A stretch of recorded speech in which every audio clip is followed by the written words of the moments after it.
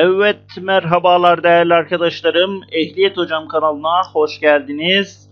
Sizleri özlemiştik bayağıdır. değerli arkadaşlarım 2022 Temmuz ayıyla devam ediyoruz yine. Ee, bizleri ehliyet.hocam adresinden Instagram'dan takip edebilirsiniz. Klasik her zaman söylediğimiz şeyler oradan mesajını vesaire gönderebilirsiniz.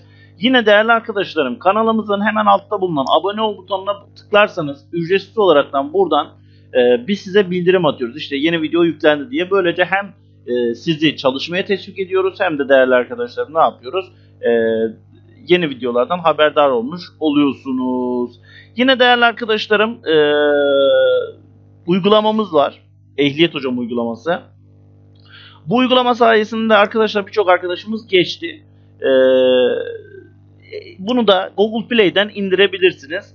Ee, Google Play Store'ya ehliyet hocam yazdığınız zaman direkt karşınıza çıkacaktır diyorum.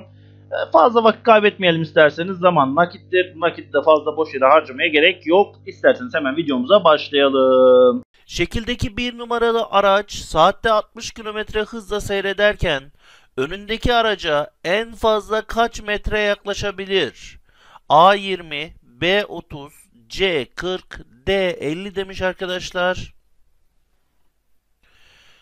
Doğru cevabımız ne diyor? Doğru cevabımız evet B şıkkı olacak arkadaşlar. Peki bunu nasıl hesaplıyoruz? Hemen şöyle kalemimi alıyorum elime. Arkadaşlar 60'ı 2'ye bölüyorsunuz. 60 bölü 2 hadi size eski hesapla yapalım. 60 bölü 2 eşittir 30 arkadaşlar. Diyelim ki burada 70 verildi. 35 arkadaşlar. Diyelim ki burada 80 verildi. Böl 2'ye. Arkadaşlar kaç? 40. Yani devamlı size verilen kilometreyi 2'ye böleceksiniz. Böylece takip mesafesini elde ediyorsunuz. Boyun, sırt ve bel omurları kırıklarında yaralının uygun şekilde tespiti yapılmadan nakli gerçekleştirilirse aşağıdakilerden hangisinin olması beklenir? A. Vücudun bir bölgesinde felç oluşması. B. Nabız atışlarının sürekli hızlanması. C. Bulantı ve kusmanın olması. D. Vücut sıcaklığının artması.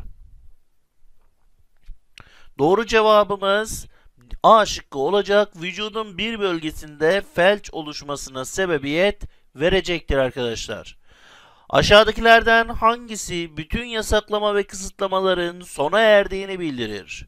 Şıklarımız verilmiş A, B ve C, D şıkları arkadaşlar. Doğru cevabımız Ulan nereye gittin? Heh. Doğru cevabımız tabii ki bunu size bıraktık. Ee, doğru şıkkımızı siz bulacak yoruma yazacaksınız. Biz de size e, yanıtta bulunacağız arkadaşlar. E, diyelim ve devam edelim arkadaşlar. Yağ eksilten bir araçta periyodik yağ değişimi yapmak yerine sürekli eksik yağı tamamlayarak aracı kullanmaya devam etmek aşağıdakilerden hangisine neden olur? Yağ ömrünün artmasına, yakıt tüketiminin azalmasına, bakım masraflarının azalmasına, yağın çamurlaşarak motora zarar vermesine. Evet doğru cevap D şıkkıdır arkadaşlar. Yağımız belli müddet sonra çamurlaşır ve motorumuza zarar verir.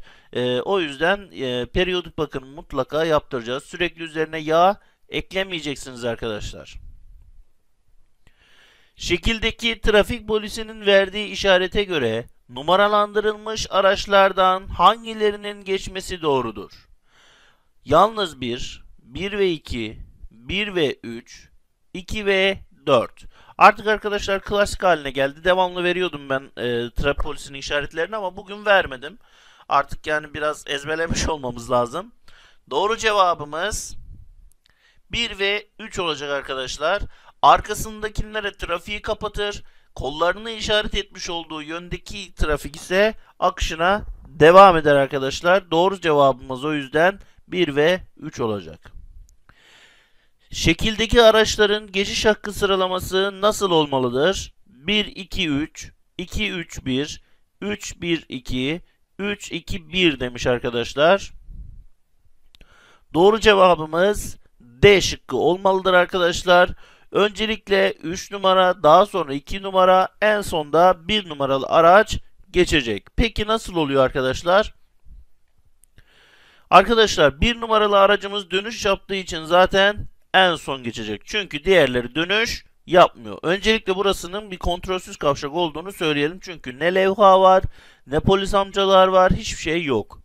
Evet, öncelikle bir numaralı araç dönüş yaptığı için en son gidecek. O zaman hemen şıklarda bakalım. En sonda bir olan hangileri var? Bunda yok. Cheese. Bunda da yok. Cheese. Geriye B ve D şıkkı kaldı arkadaşlar. Bakalım 2 ve 3 numaralı taşıtlarımız kaldı. İkisi de eşit araçlar ve e, ikisinin eşit e, gidişi var. Yani ikisinin de geçiş hakkı var. Ama hangisi önce geçecek? Tabii ki de diğerine göre sağda olan. 2 numaralı aracın içine oturalım. Oturduk. Kapıyı kapattık. Sağımızda araç var mı? Var. Hangi numara araç var? 3 numara. O zaman sağımızda araç olduğuna göre geçiş önceliğini ona veriyoruz. Öncelikle 3 numaralı araç geçiyor. Daha sonra 2 numaralı araç geçiyor. En sonunda dönüş yapmakta olan 1 numaralı araç geçiyor. Yetişkinlerde temel des, temel yaşam desteği uygulamasının bir, birinci turunda yapılan kalp masajı ve suni solunum sayıları hangisinde doğru olarak verilmiştir? Kalp masajı birinci söylediğim arkadaşlar, ikinci söylediğim suni solunum. A. Kalp masajı 10, suni solunum 1. B. Kalp masajı 20, suni solunum 1. C. Kalp masajı 30, suni solunum 2. D. Kalp masajı 40, suni solunum 2 olacak. Doğru cevabımız tabii ki de C şıkkı arkadaşlar. 30 kalp masajı ve 2 tur suni solunum uyguladıktan sonra diyorduk zaten hatırlıyorsanız sorulardan da. Şekildeki kontrolsüz kavşakta ilk geçiş hakkını hangi araç kullanmalıdır? Traktör, otomobil, kamyonet, motosiklet. Doğru cevabımız C şıkkı kamyonet olacak arkadaşlar. Peki hocam diğerlerinden hangisi kullanacak? Hemen bakalım. Arkadaşlar diğerlerinden e, baktığımız zaman kamyonetten sonra ilk geçecek olan otomobil daha sonra dönüş yapmıyor olsaydı e, motosiklete belki hadi geç kardeşim diyebilirdik ama dönüş yapıyor. Traktör en sonunda motosiklet geçecektir arkadaşlar. Aracın lastiği kontrol edilirken yukarıdakilerden hangileri dikkate alınmalıdır? Aracın pardon lastiğin basıncı, diş derinliği, hasarlı olup olmadığı. Arkadaşlar artı eksi koymak gerekirse aracın basıncına dikkat etmemiz gerekir mi? Lastiğinin değil mi? Evet dikkat etmemiz gerekir. Diş derinliği vizeden bile geçirmiyorlar. Hasarlı olup olmadığı. Düşünsenize lastiğinizin üstünde küçük küçük çatlaklar var. Ha? O lastikle yolculuğa devam etmek ister misiniz? O zaman doğru cevabımız D şıkkı oluyor arkadaşlar. Yani 1, 2 ve 3.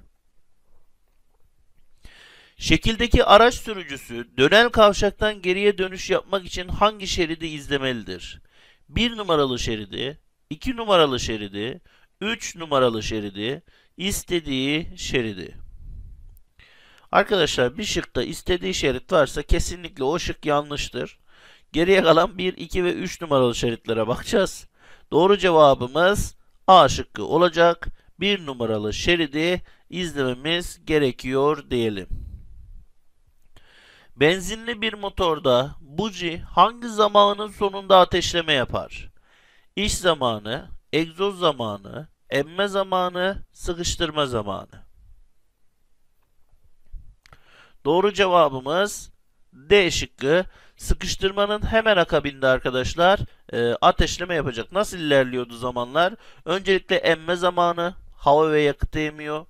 Daha sonra sıkıştırma zamanı, daha sonra ateşleme diğer adıyla iş zamanı, en sonda egzoz zamanı. Bu soruda eğer A şıkkını işaretlemişseniz lütfen kendinizi pencereden aşağıya bir sarkıtın arkadaşlar. Beni yormayın. Doğru cevap D şıkkı sıkıştırma olacak. Şekildeki trafik işaretini gören sürücü aşağıdakilerden hangisini yapmalıdır? Sağa dönüş lambasını yakmalı, takip mesafesini azaltmalı, yavaşlayıp varsa geçme yasağına uymalı, yolun solundan gitmelidir. Doğru cevabımız C şıkkı arkadaşlar. Yavaşlıyorsunuz kontrollü biçimde ve viraja geçme yasağına uyarak giriyorsunuz. Sakın ola ki bu levhayı gördüğünüz yerlerde sollamaya kalkmayın. Zaten sollamada yapılmaz. Aman diyeyim sonra nalları diken adam olmayın. İmam amcayla tanışmayın. Aşağıdakilerden hangisi aracın egzoz dumanının siyah renkli çıkmasının çıkmasına neden olur demiş.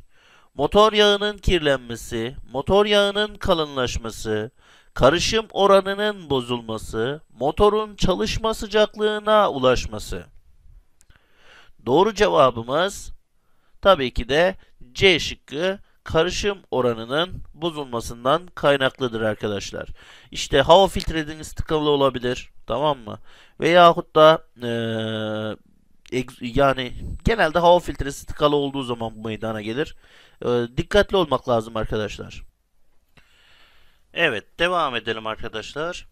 Aşağıdakilerin hangisinde araçlar park halin yerine uygun şekilde park edilmiştir? Evet bize uygun parkı sormuş arkadaşlar.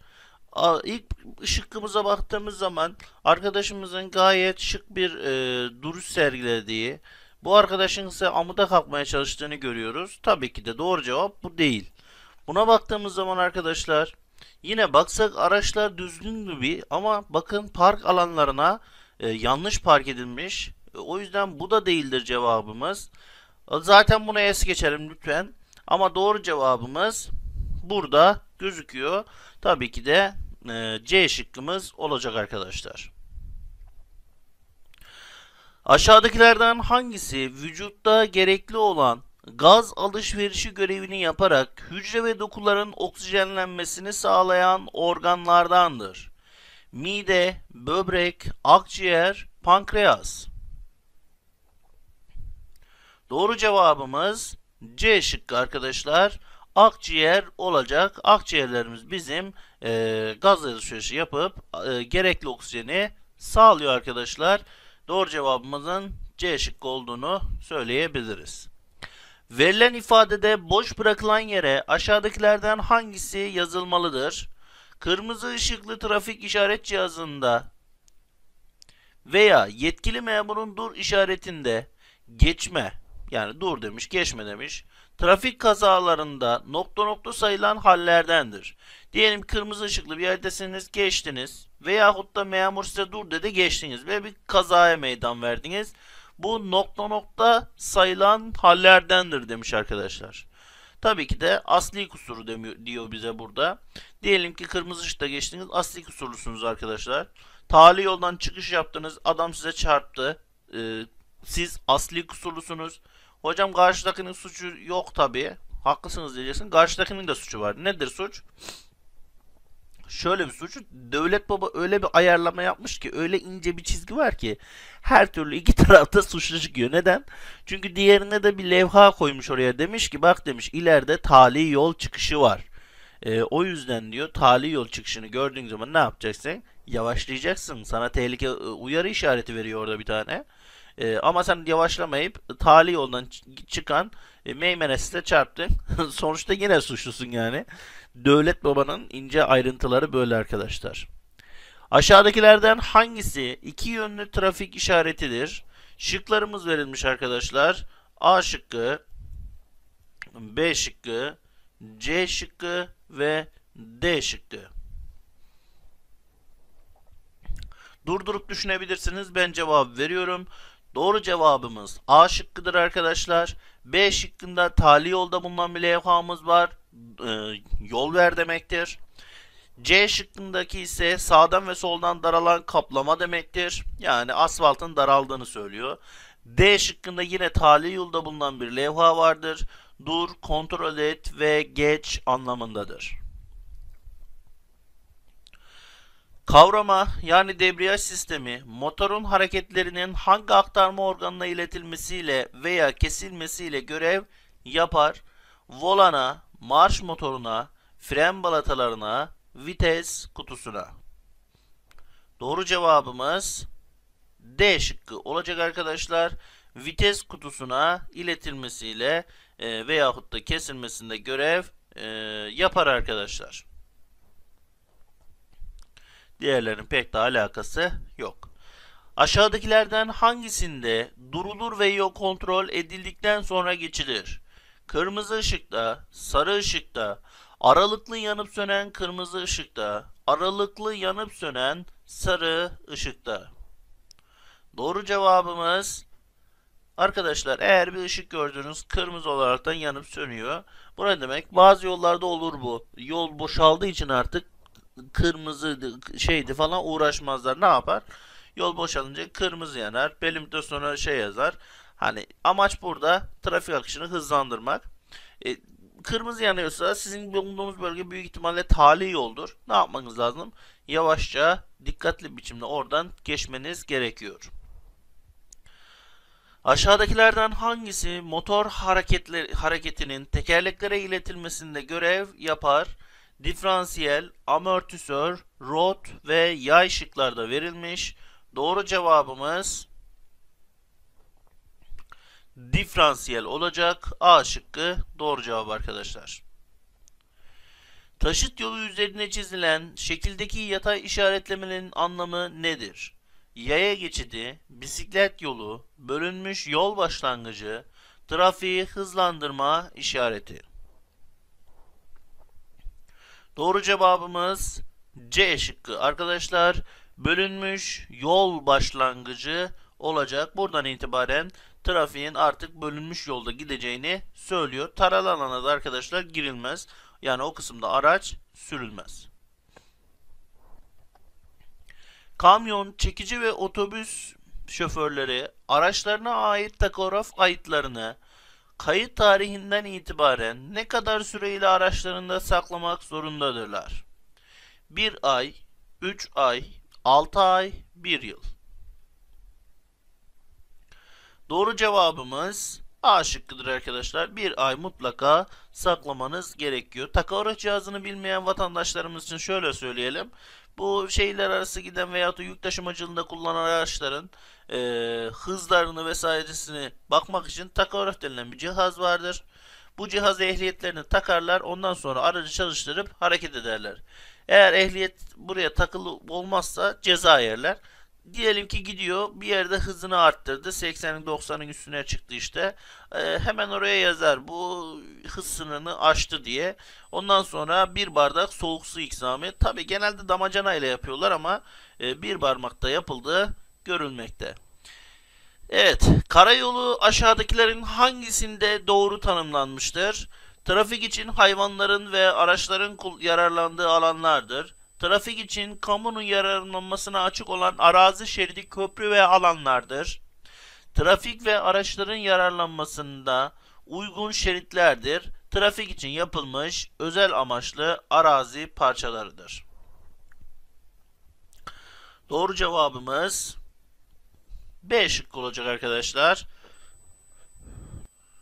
Yani e, kamunun yararına trafik kanun trafik ve kamunun e, pardon trafik için kamunun yararlanması açık olan arazi şeridi, köprü vesaire alanlara biz e, bunu diyoruz. Yanık derecesini belirlemede aşağıdakilerden hangisi diğerlerine nazaran daha önemlidir? Yanıcı maddenin yakıcı maddenin temas şekli, yakıcı etkiyi gösteren maddenin miktarı, yakıcının üzerinde bulunan giysilerin cinsi, pardon yaralının, yanık yüzeyinin genişliği ve yanığın derinliği. Tabii ki de D şıkkı arkadaşlar doğru cevabımız. Bizim için e, derecelendirmede yanık yüzeyi ve e, derinliği önemli. Aşağıdakilerden hangisi tehlikeli viraj yön levhasıdır demiş. Doğru cevabımız A şıkkı olacak arkadaşlar.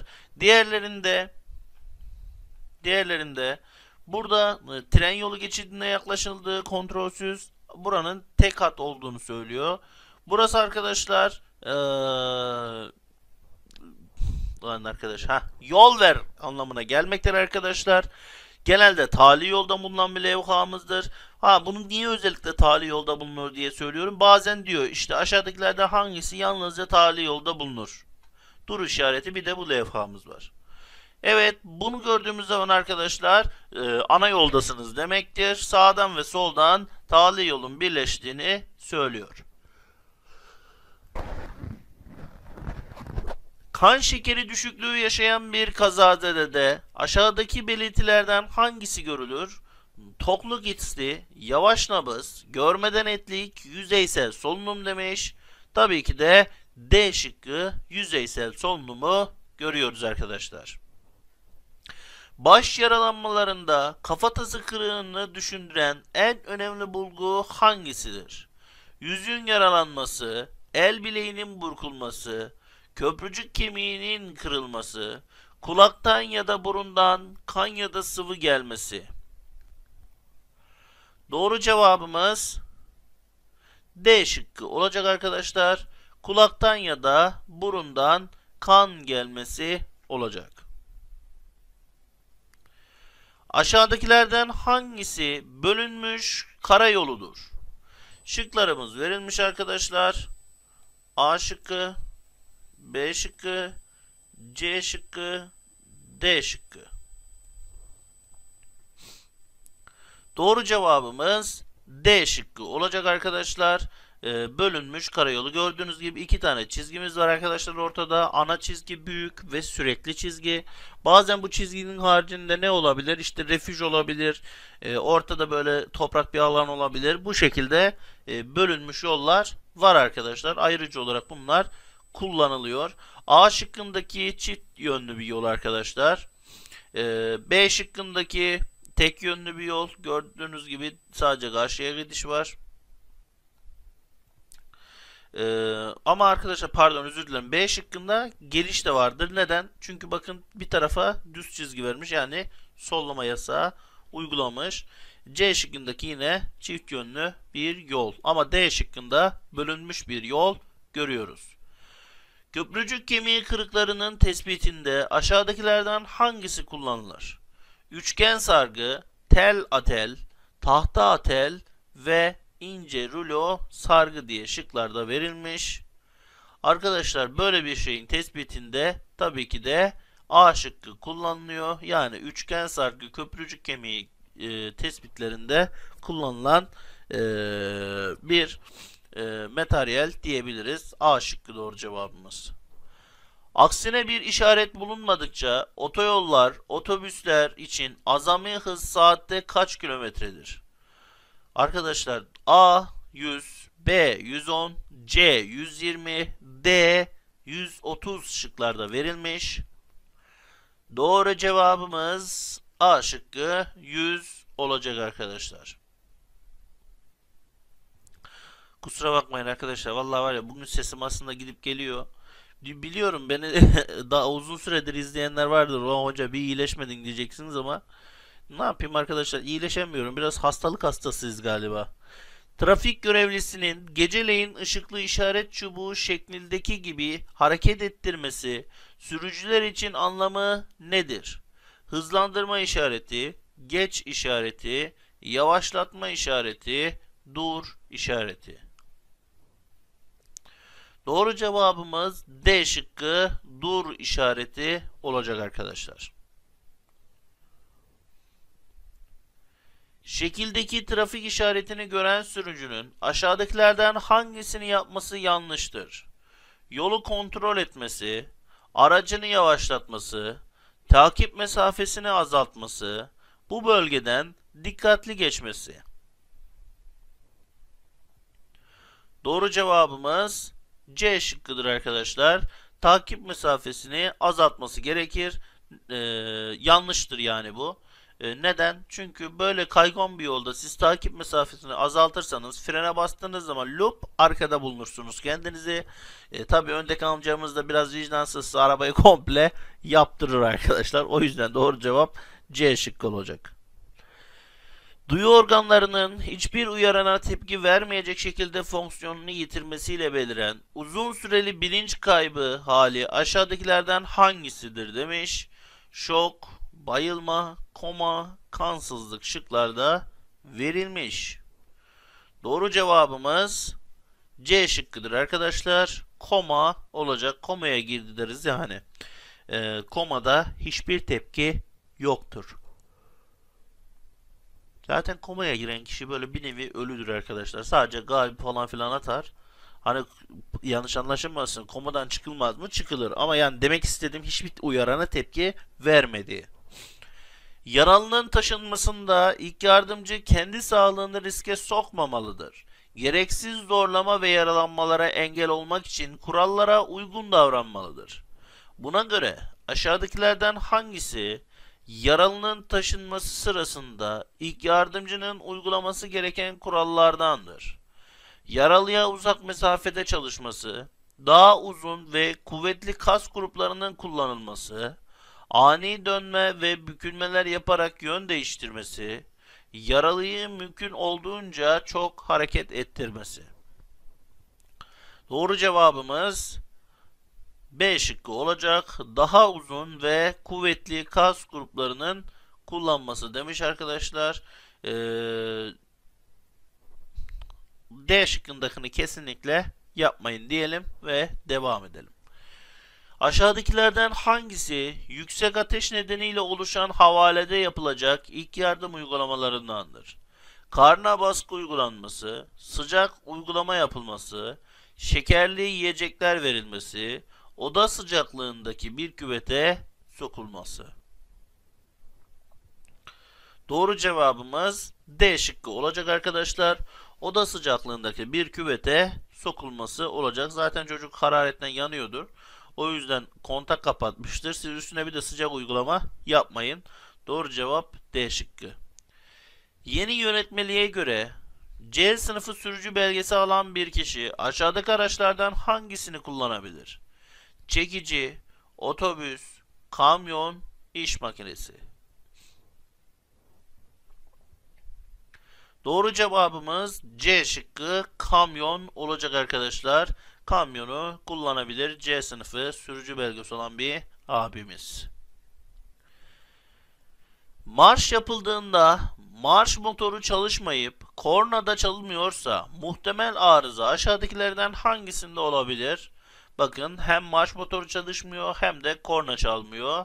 Aküde, bujilerde, jikle devresinde, rolanti devresinde. Doğru cevabımız A şıkkı olacak arkadaşlar. Aküde bir arıza vardır. Eğer korna çalışsaydı diyecektik ki marş e, motoruna giden kablolarda diyecektik ama çalışmadığına göre aküde. İlk yardım çantasında gazlı bez bulundurmanın amacı nedir? Etrafı temizlemek, kalp masajında kullanmak, yaraları kapatmak ve sarmak, kırıklarda ağrıyı azaltmak. Arkadaşlar yaraları kapatmak ve sarmak için gazlı bezi biz ne yapıyoruz? Kullanıyoruz. Seyir halindeyken aracın gösterge panelinde aşağıdaki ikaz ışıklarından hangisinin yanıyor olması, trafik kurallarına uymak şartı ile derhal durulması gerektiğini bizlere anlatır demiş. Şıklarımız verilmiş arkadaşlar.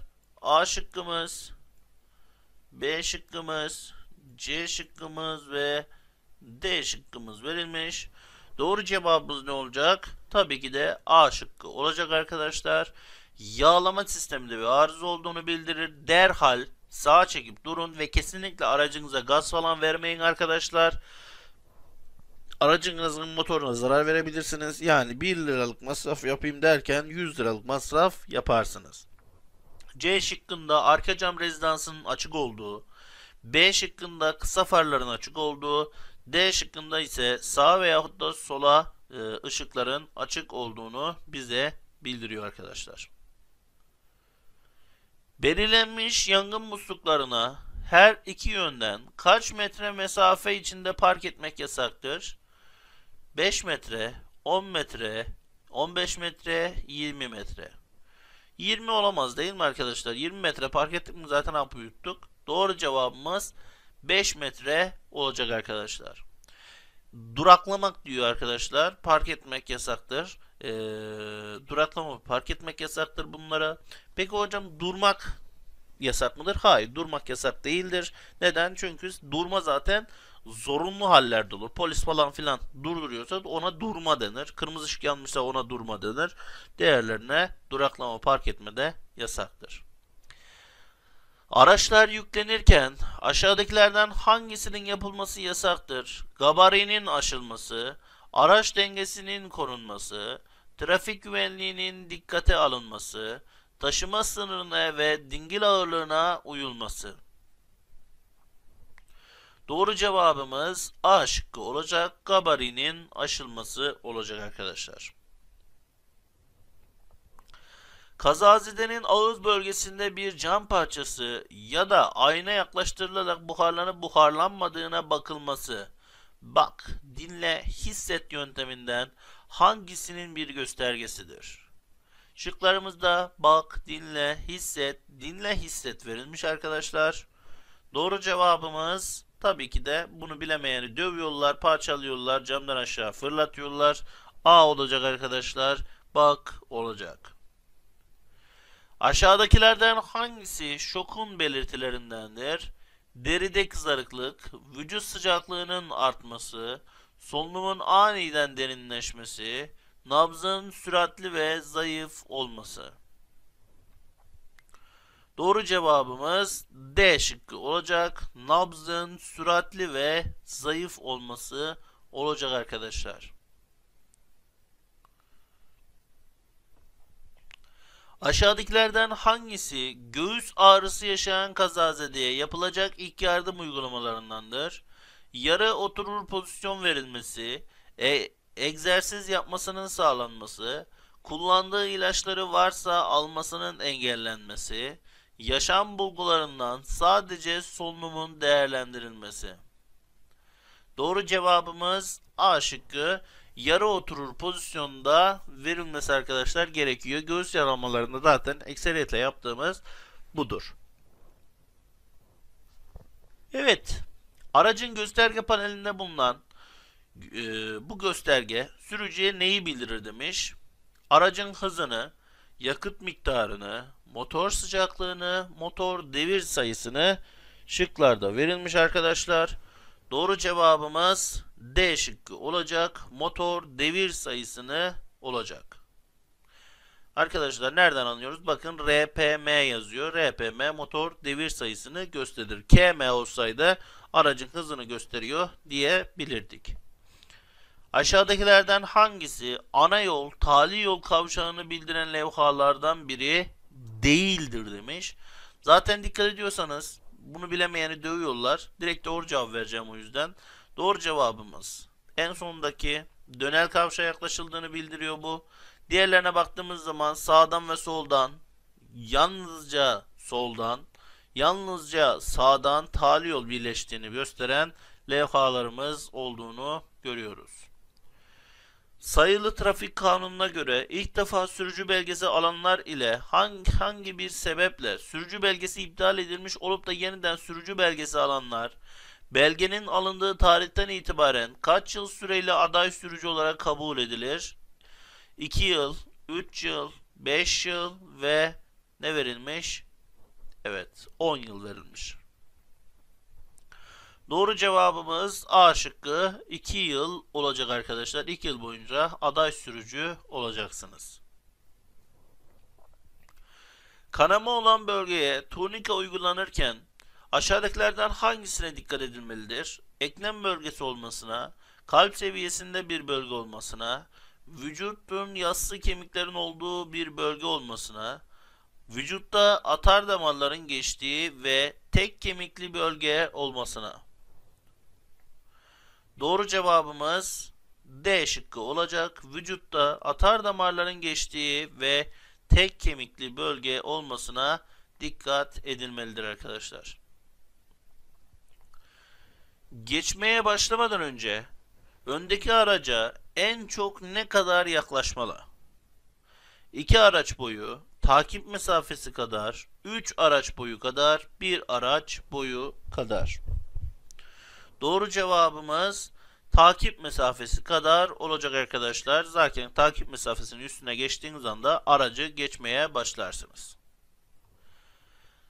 Kalp atımlarının atar damar duvarına yaptığı basıncın damar duvarına parmak ucuyla hissedilmesine ne denir? Nabız, solunum, vücut ısısı, kan şekeri demiş. Doğru cevabımız A şıkkı olacak arkadaşlar. Nabız olacak. Nabız diyoruz biz buna. Koldan bakıyoruz malumunuz. Evet değerli arkadaşlarım sorular burada son buldu. Aşağıya yorumları e, yazmayı unutmayın. E, kendinize iyi bakın. Allah'a emanetsiniz. Seviliyorsunuz.